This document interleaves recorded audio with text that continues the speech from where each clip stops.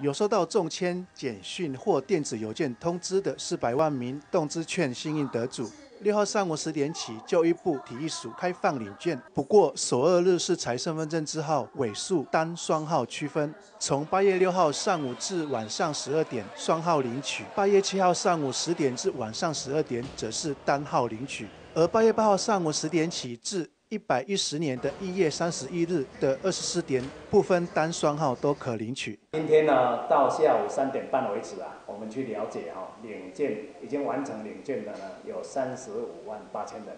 一起来合作的店家呢，已经达到四千八百家，哦，四千八百家哈。民众认为动资券的推出，除了可以帮小孩买运动用品。也可以审核包，对我小孩子很有帮助，因为他可以买运动鞋，然后他也可以买那个上跆拳道用的护具之类的，比较可以就是多重运用啊。我觉得这个活动很好，需要运动的人可以使用得到。就我们家一家四口有三个人中奖，